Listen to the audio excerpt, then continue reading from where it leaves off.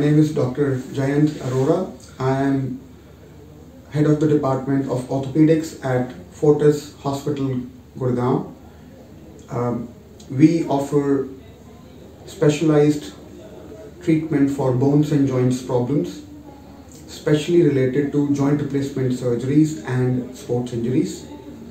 Uh, we have latest technologies like computer navigation surgery, robotic surgery using Navio robot.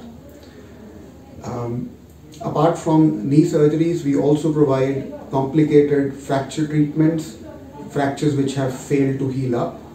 We also see a lot of patients coming to us from uh, African countries like Nigeria, Ghana, Ethiopia, and Middle Eastern countries like Iraq, Afghanistan, who come for treatment of their joint problems and fractures prior to joining um, this hospital, I have worked in England for eight years uh, in different parts of the country where I got specialized treat, uh, training for treating joints and bone issues.